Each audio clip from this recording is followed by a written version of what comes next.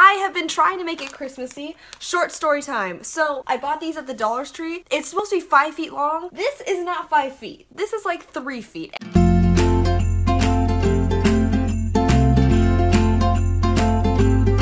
Friends, my name is Gabrielle, welcome to Frumious Reads. I'm really excited because in the spirit of Christmas, I went ahead and bought myself a book box from Go Indie Now, the Bibliotherapy box. If you look on it, the first thing that you see when you get it is your mental vacation has arrived, and I'm really excited to see because I would love a mental vacation. I should have opened it before I actually started this video because I am terrible at tearing these kind of, look at it's like the ones where they're stuck together. Oh, come on now. Oh my god, there's three packages. It's a package inside a package inside a package. Oh!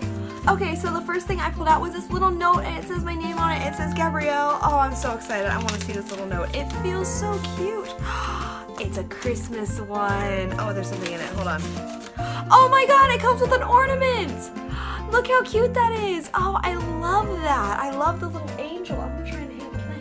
Right here? Oh, perfect. I got to hang right here on my little books. I love that. That is adorable. Okay, so that's my first thing I got, and then I also got this card. Merry Christmas and a Happy New Year. Dear Gabrielle, I hope this box brings you love and joy. Love Ashley. Ooh, this little package that's wrapped with these little cute paper. Oh, I love the little, um, I love the little snowman. Snowmen are my favorite. That's one of my favorite aesthetics about the winter Christmassy season is all the snowman. You guys, if you haven't seen my last video, it's a reaction to the Spider-Man Homecoming trailer, and I have my little snowman Charlie in it because Christian wasn't able to be there that day.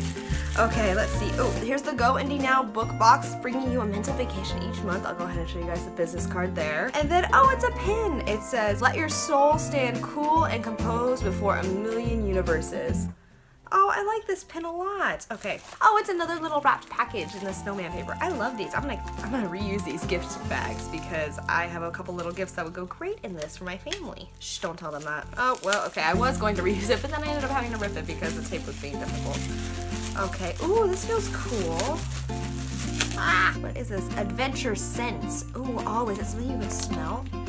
Oh my gosh, this smells amazing. What scent is this? It's okay, so it's a little like scent package. I actually have no idea what this is. I think it's just something that you just put in and it smells at the room, but that's super cute. I like that. Thyme. I don't know which one this one is. I think it's just, maybe it's just adventure scent. It smells pretty good. And they have so many different scents. That's so cool. The next thing I have is this library card.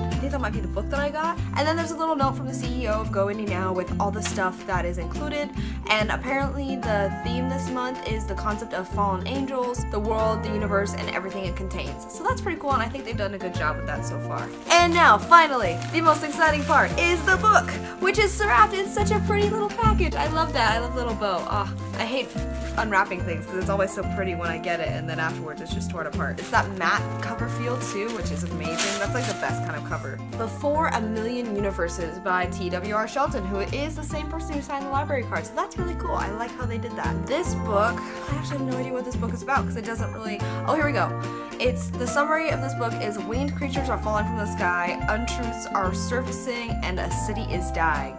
17-year-old Maxwell Odyssey never wanted to save the world, now she has no choice. So it sounds like a dystopian YA novel mixed in with a lot of angelic mythology, so that's really cool, and I love angelic mythology because it's one that's not really explored that much in different books. I think it's to be really good. I'm excited to read this. So that is my book haul from Go Indie Now Bibliotherapy. I think I might actually keep this book as a subscription box. I usually try and try out every kind of a subscription box that I hear of first, but this is one that I really liked and I got a lot of stuff. So I might keep this one in the future. I'm really excited to use all this. This is awesome. I'm very satisfied with this subscription box. I will leave all the links to lead you to it and for where you can find more information about it in the description down below. So make sure you guys go ahead and check that out if you haven't already heard of them. If you guys haven't seen my last video, then make sure you stick around because it will be playing right after this. If you guys haven't subscribed to my channel already, then you definitely should because not only do I upload bookish videos twice a week, but I also upload reaction videos whenever something cool comes out that I want to react to. And usually my friend Christian is appearing in them, so you guys can always look forward to seeing him. But that's all I have for you guys today, so thank you so much for watching, and I will talk to you guys later, okay?